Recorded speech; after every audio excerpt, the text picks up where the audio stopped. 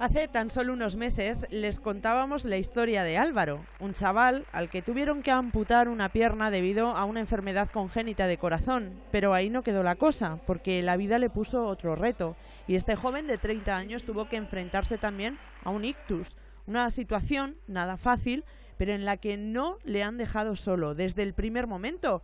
Álvaro ha contado con el apoyo de un pueblo que se ha volcado con él.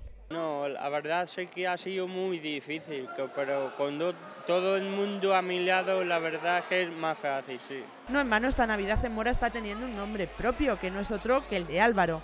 Actos y actividades de distinto cariz que se multiplican y todos con un objetivo, recaudar fondos para conseguir una pierna biomecánica y con ella recuperar la movilidad completa de este chaval, que lo único que quiere y lo único que tiene es ganas de seguir hacia adelante.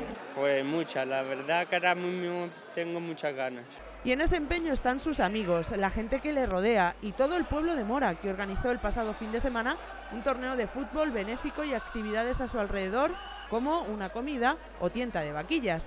Todo con solidaridad que nos sorprende. La gente de Mora yo sé que son así, yo sé que somos así. Somos gente que somos abierta y solidaria, gente que siempre cuando digo que la gente viene a Mora le recibimos con una sonrisa y cuando tenemos un problema en Moracho ahí estamos para ayudarle entre todos. A mí no me sorprende, la gente de Mora somos así. 5 euros y entradas para ver distintos partidos de fútbol que tuvieron el momento álgido cuando se enfrentaron toreros y periodistas, todos unidos por y para Álvaro.